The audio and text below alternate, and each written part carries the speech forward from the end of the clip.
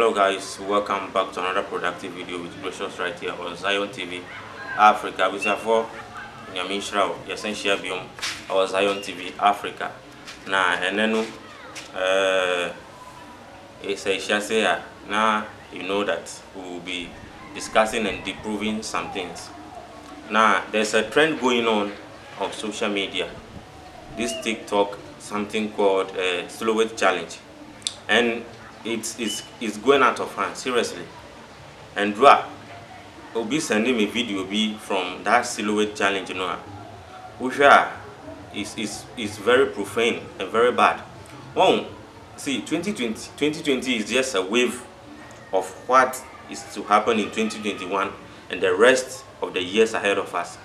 Christians must wake up and be alert or say especially the youth see the internet is something good oh, but if you don't take time it will steal you away as a christian youth or the youth in general.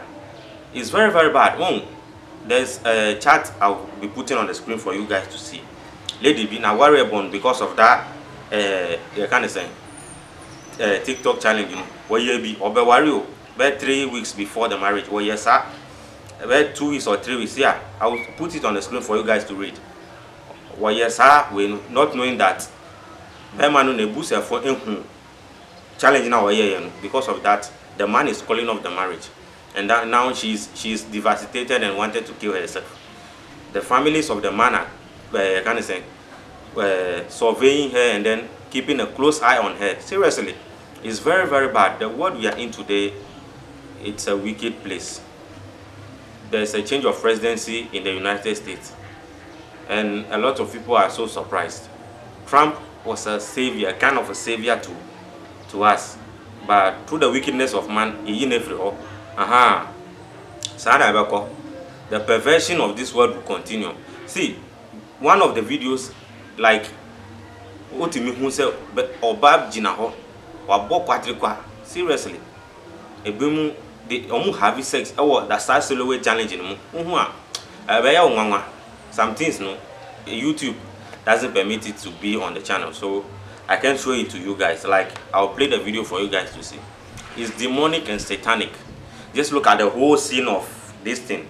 You be in a red light and like wankasa we are dark and wore red light. It depicts something. It's depicting something. Seriously there are some pictures of this thing I'll show to you guys for you to just take us through uh, to watch and then know what is happening?